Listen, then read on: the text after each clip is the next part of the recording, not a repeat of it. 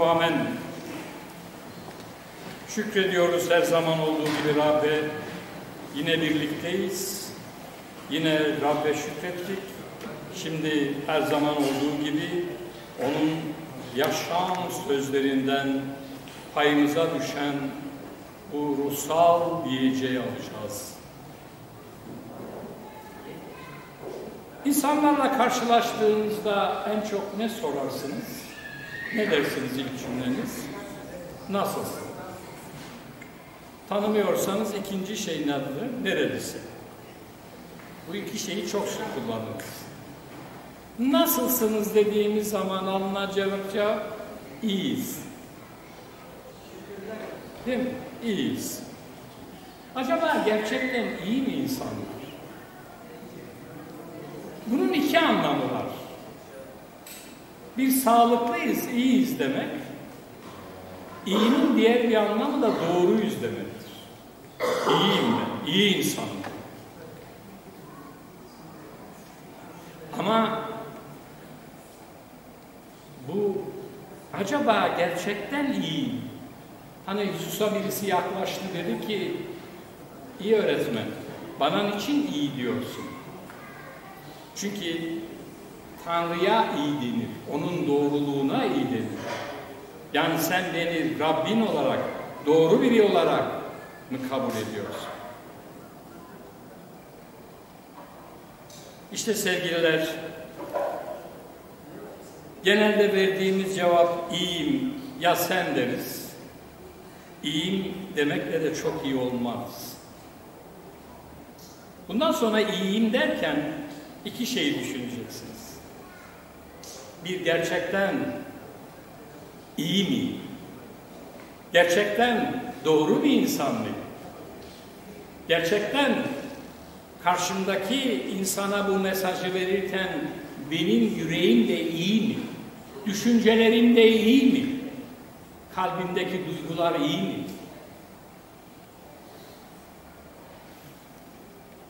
Eğer çok doğru ve iyi bir hayat yaşamak için neyin doğru, neyin yanlış olduğunu anladığımız zaman, öğrendiğimiz zaman ve öğrendiğimiz doğruları yaşantımızda uyguladığımız zaman biz gerçekten iyi insan oluruz.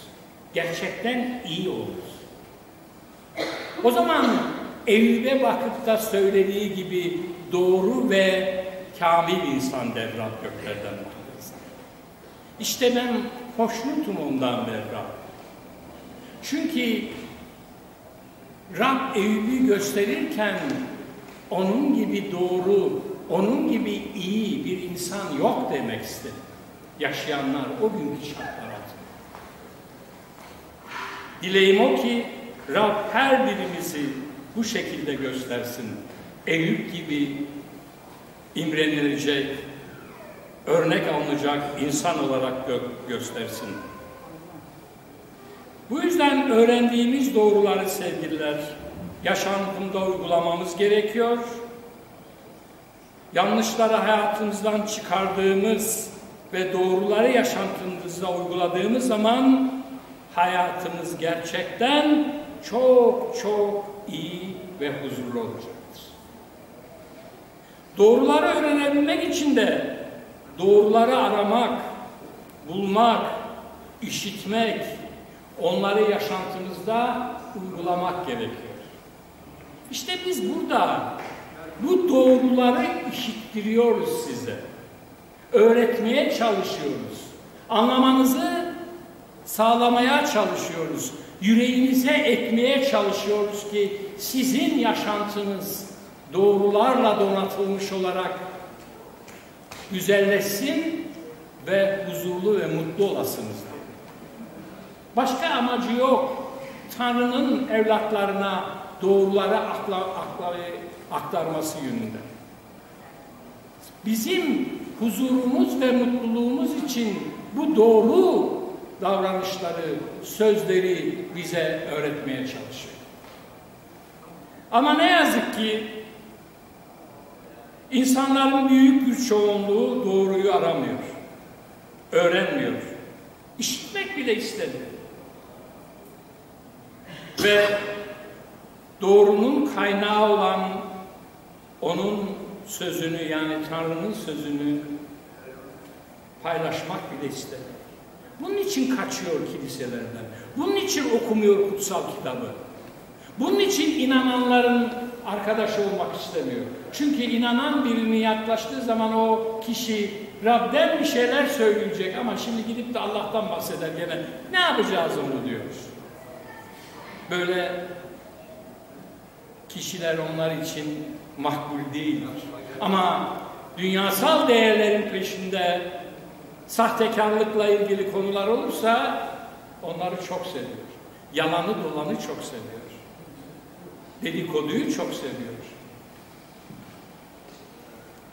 Ve bu yüzden sevgililer insanlar sağırlar ve dilsizler ordusunu andırıyor. Ne Rabbin çağrısını duyabiliyor, ne doğruyu görüyor, ne onun mesajını anlayabiliyor, ne de başkalarıyla paylaşabiliyor. Yaşa peygamberin söylediği bir söz var.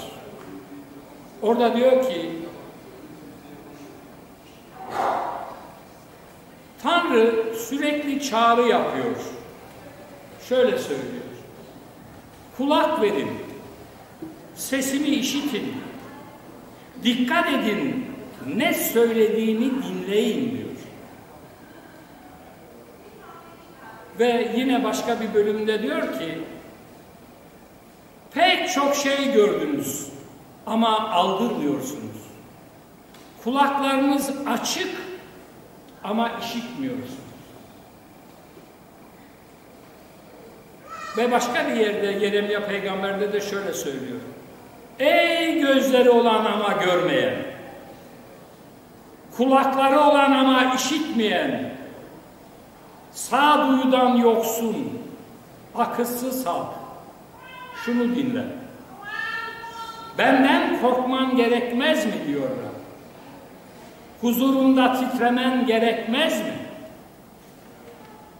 Denize sınır olarak kumu koydum, deniz sınırını geçmez. Dalgalar kabarsa da üstün gelemez. Kükrese de sınırı aşamaz. Ama bu halkın yüreği asi ve inatçı. Sapmışlar. Kendi yollarına gitmişler. İçlerinden ilk ve son yağmurları zamanında yağdıran, belli ürün biçme haftalarını bizim için koruyan Tanrımız Rab'den korkalım demiyorlar. Peygamberler yalan peygamberlik ediyor. Halk başına buyruk. Ama halkı da başına buyruk kahinler yönetiyor. Yani o kahinler halkı Allah'ın sözüne göre değil, kendi kafasına göre yönetiyor.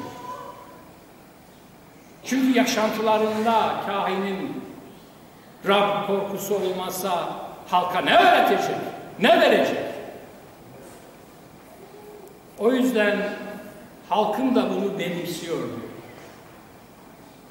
Hatırlarsanız bir gün dedim ki yalancıysam, dolancıysam, sahtekarsam ve gereğini yapmıyorsam, siz de bana ses çıkartmıyorsanız o zaman benim ortaklarım olmuş olur. Beni benimsiyorsanız bu yalanımla, dolanımla, sahtekarlığımla o zaman benim ortağım olursunuz. Bir gün Rab bunun hesabını verir. Benim yalanımın, dolanımın hesabını benden sorar ama siz de buna ses çıkartmayıp benimsediğiniz zaman o hesap günü siz de buna ortak oldunuz gelindir benimsediğiniz için. Sahtekar kahini. Yahut da biriyle dost olabilirsiniz, arkadaşlık edebilirsiniz bir insanla. Ama onun sahtekarlığına ses çıkartmazsanız onun hesabının sorumluluğunu taşırsınız. Kutsal kitap öyle diyor.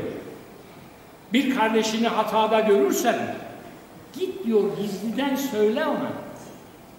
Ortaya hemen çıkartma. Seni dinlemiyorsa diyor. İki hatırlı kişi daha al onun. Git gene bir hatırlat. Yine dinlemiyorsa o zaman çık kilisenin ortasında söyle ki kilisenin o doğruluğu bozulmasın. Yöntem bu. Aman bana ne dediğimiz zaman bu bana nenin hesabı sorulur bizden. Kahinden de sorulur, sizden de sorulur, yetkililerden de sorulur, herkesten sorulur.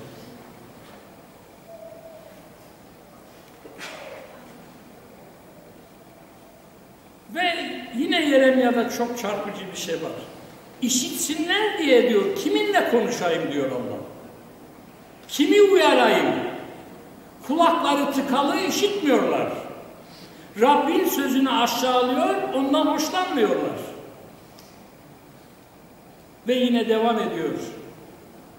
Yaptıkları iğrençliklerden utandılar mı? Hayır. Ne utanması? Kızarıp bozarmanın ne olduğunu bile bilmiyorlar. Bu yüzden onlar da düşenlerin arasında yer alacak. Bakın, onun için bu lafı söyledim size. Eğer yanlışa kayıtsız kalıyorsanız ve bir de onun peşine düşüyorsanız aman bana ne, aman şimdi kim uğraşacak, yanlışı takip ediyorsanız diyor ki Rab onlar da düşenlerin arasında olacak. Onları cezalandırdığımda sendeleyip düşecekler diyor Rab. Bu yüzden yine uyarıyor. İyi yol nerede öğrenin. O yolda yürüyün. Canlarınız rahata kavuşur o zaman. Ne zaman? İyi yol nerede, doğru nerede diye o yolu öğrenirsen ve o yolda yürürsen, öğrendim ama yürümüyorum. Bu öğrenmek değil. Bakın bir hata yapabiliriz. Cehaletimizden dolayı. Her insan hatalıdır. Bilgisizliğimizden dolayı yaptığımız hata cehaletimizdendir. Ama bilerek yaptığımız hata ahlaksızlığımızdandır. Cehalet giderilir, öğrenilir, o hatayı yapmazsın. Ama ben bilerek, öğrendiğim halde bu hatayı tekrarlıyorsam, bu benim iç dünyamın iyi olmadığındandır. Ve Rab de bunun hesabını sorar. Cehaletimi hoş görür. Birisi de gelip Hüylik, Mayrik, Akbalik bilmiyordum kusura bakma dediği zaman ne kadar kızgız olsan bile öfken diner. Ama ikaz ettiğin, bunu bak bir daha yapma dediğin kişi aynı hatayı yaparsa o zaman aynı tutumda davranmazsın. İşte Rab de diyor ki iyi yol nerede öğrenin o yolda yürüyün. Canlarınız o zaman rahata kavuşur ama onlar o yolda yürümeyiz dediler. Söylediğin halde yürümeyiz dediler. İşte uyarıyor Hezekiel peygamberde gözleri varken diyor görmüyorlar, kulakları varken işitmiyorlar. Çünkü bu halk asidir. Yani asilik Rabbin sözüne karşı kayıtsız kalmak, onun sözlerini işitip yerine getirmemek düşenler, ceza görecek olanlar onlar olur. Ama diyor yine bir yerde Yeremya'da Rabbin sözünü dinleyen ey Rabbe tapınmak için bu kapılardan giren Yahud halkı İsrail'in Tanrısı her şeye egemen Rab diyor ki yaşantınızı ve uygulamalarınızı düzeltin o zaman burada kalmanızı sağlar. Yani o zaman ne istiyorsanız sizin istediğiniz şeyler size o zaman verilecek. Önce sen Allah'ın krallığını iste. Ve Yeremya'nın o şeyde diyor ki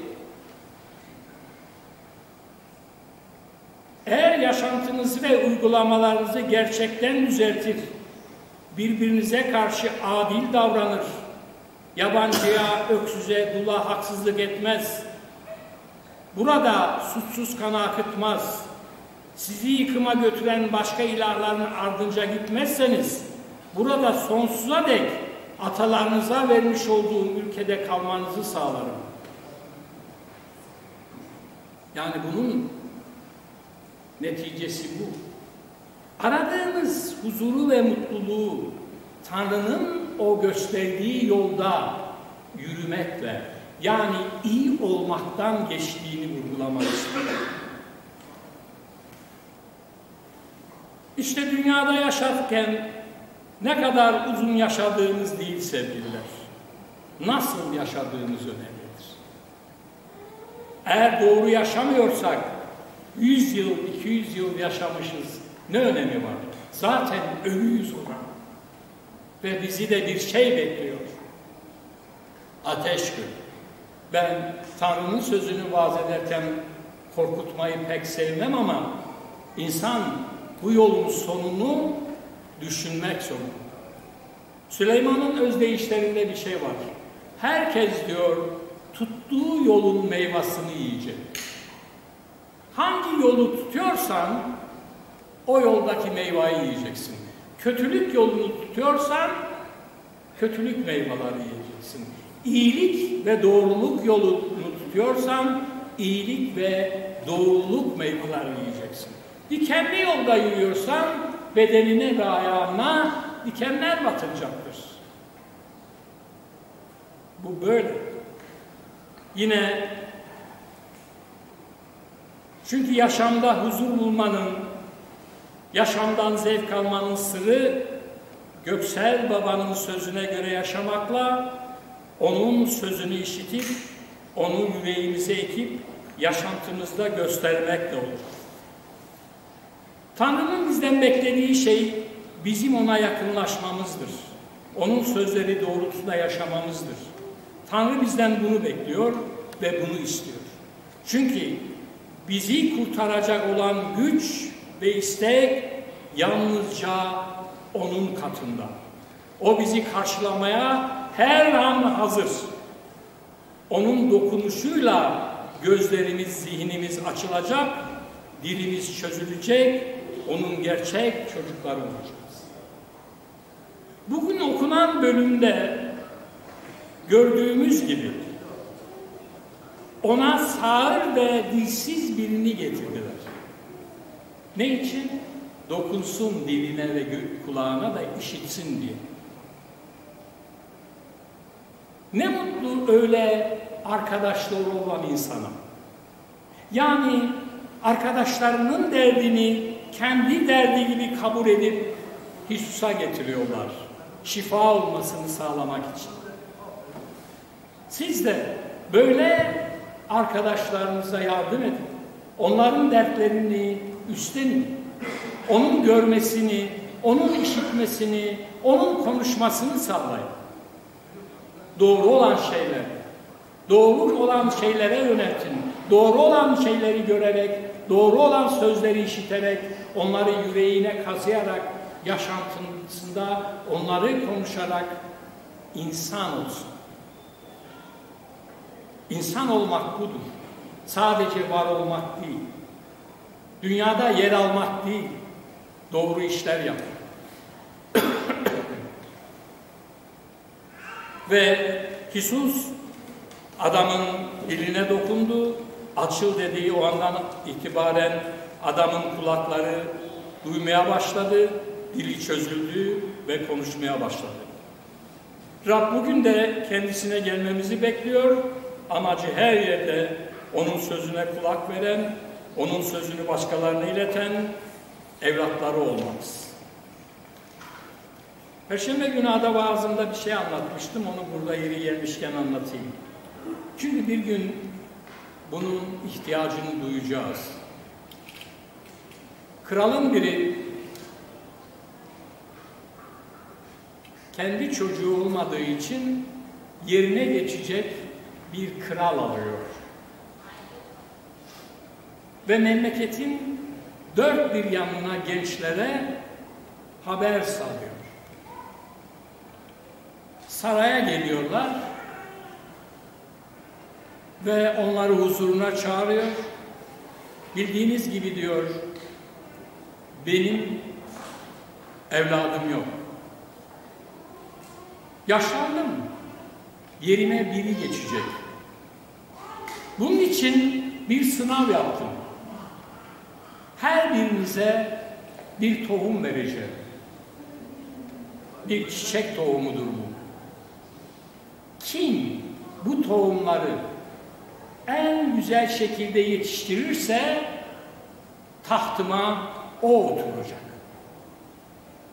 Ve gençler heyecanla, kral olmanın heyecanıyla kralın verdiği tohumları alıyor, evlerine gidiyor.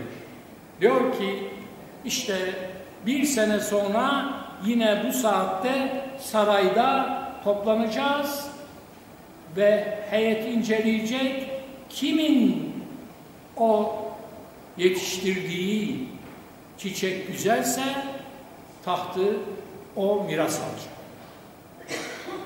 Ve gençler evlerine gidiyor, saksılar alıyorlar, kaliteli topraklar alıyorlar, tohumu ekiyorlar.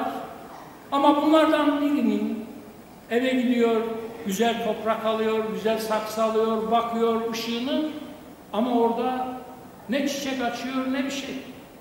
Aylar geçiyor, gidiyor arkadaşlarına bakıyor ki, arkadaşlar diyor ki işte benimki filiz verdi, diyor ki benimki çiçek açmaya başladı.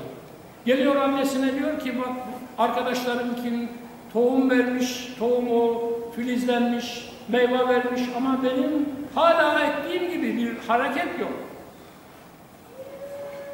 Ve oğlum diyor biraz daha uğraş, gidin bak belki seninki de olur onlarınki olduysa. Çocuk tekrar uğraşıyor yine olmuyor, yine gidiyor. Arkadaşlarına bakıyor. Hakikaten de onların saksılarında güzel güzel çiçekler açmış, boyatmış. Üzülüyor, üzgün üzgün geliyor. Anasına diyor ki anacığım ben o gün gitmem kralın huzuruna. Çünkü herkesin tohumu çiçek vermiş ama benim tohumum çiçek vermiyor. Boy bile atmadı. Topraktan bile filizlenmedi. Kral beni öldürür. Beceriksiz der. Anası da diyor ki oğlum gitmesen daha kötü olur. Emre karşı gelmiş olursun. Bütün tohum alanlar o gün buraya getirecek dedi kral. Çocuk da o gün geliyor korka korka istemeye istemeye o da boş saksısını alıyor diğer arkadaşlarıyla beraber gidiyor bakıyor arkadaşlarının saksılarına boy boy envai türlü çiçekler var neyse borular çalıyor kral salona giriyor geziyor böyle sırayla çiçekleri görüyor, sonra çocuğun önüne geliyor, çocuk başı eğilmiş, mahcup, şimdi diyor emir verecek, vay beceriksiz, sen bir şey yetiştiremedin diye diyor, beni idam ettirecek diye korkuyor, titriyor. Sonra bakıyor bir saksıya, bir o gence, ama o bakışlar altında çocuk neredeyse ölecek korkudan.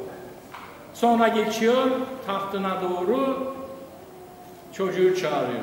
Buraya gel diyor. Çocuk eyvah diyor. Şimdi beni verecek cellatların eline. Ondan sonra çocuk ayakları titreyerek kralın yanına gidiyor. Kral tahtından kalkıyor. Diyor ki buyur otur.